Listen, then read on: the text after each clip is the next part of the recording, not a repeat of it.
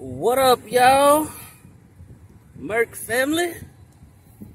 We did it. We made it to 103 subs. Man, I can't thank y'all enough. The grind don't stop though.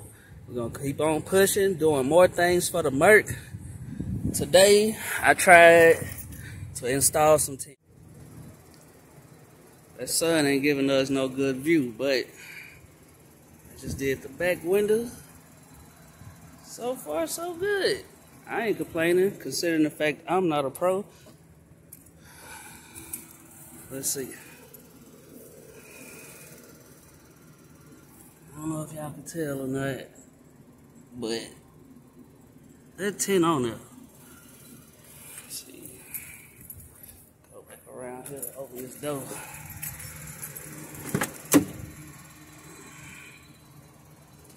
Y'all can see the difference in those two right there.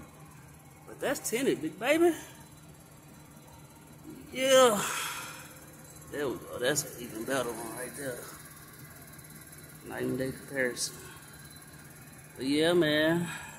I'll catch y'all when I'm finished with it. We'll do a complete walk around. We'll be back.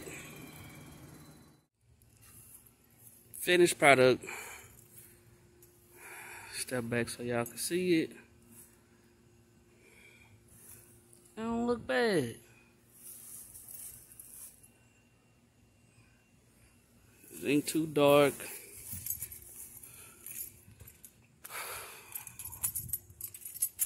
I'm on this side so you guys can see a little more. Again, that front window, driver's window, is not tinted. Just this one here. Because I ran out of tent not knowing any better. But next, is these right here. I am going to tent these two here. I'm just going to give me some brighter bulbs because mine's look yellowish and I don't like that. So I'm going to shoot for some bright white lights and then I'll tint these right here.